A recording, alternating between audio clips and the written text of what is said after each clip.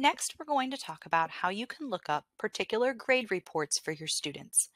Not all of our students have easy access to technology, and sometimes they need a progress report printed out or a listing of their grades or assignments and how they're progressing. So you're going to go into your gradebook. In your gradebook, you're going to see all your students' names listed. I'm going to click on the name of the particular student who I would like to print out the progress report for. I'm just going to go down to where it says print and click progress report. Now I have lots of options under this progress report.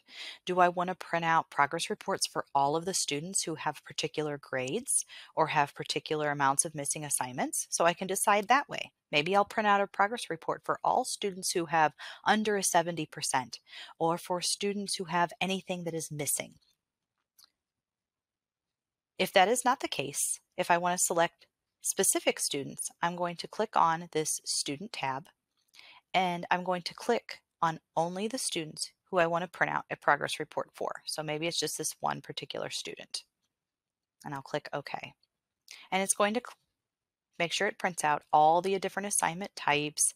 It's going to make sure it shows the assignment date. And I can choose all kinds of different options, just like I could in the previous SIS. I'm going to click Run. Going to wait a minute for the report to generate a PDF. And then now I can see all of the particular assignments for the student in that particular quarter or in that particular grading period and I can print that out easily using the print button. So if you need to print a progress report, again, you're going to go into your gradebook, you're going to click on the word print, then progress report. And you can choose if you're going to do this for all the students in that particular class, if they meet certain parameters, or you can select specific students by clicking this specific student icon, and then you can print out those PDFs.